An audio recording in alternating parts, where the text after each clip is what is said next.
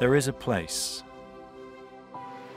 where emerald jungles meet sapphire seas.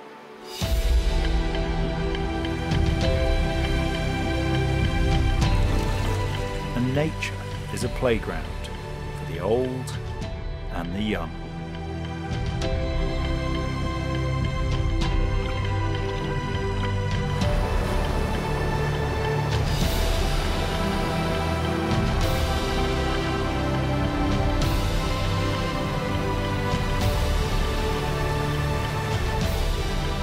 where cascades and streams lead to mystery and magic.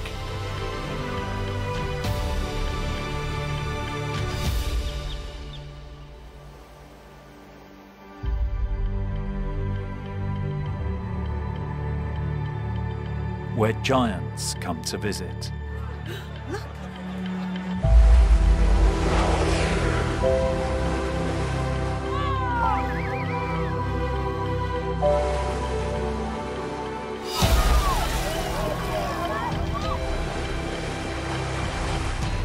where you can lose yourself on a sweep of white sand.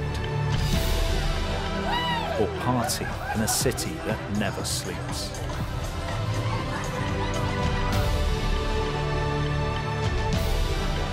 Where the people smile in a hundred languages.